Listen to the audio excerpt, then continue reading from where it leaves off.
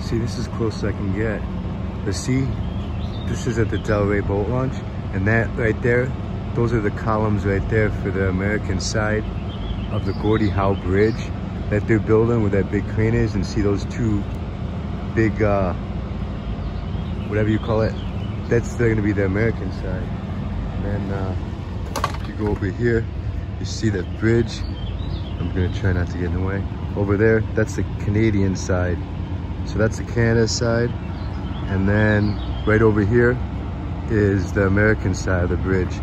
But you can see it kind of from uh, West Jefferson, but not that good.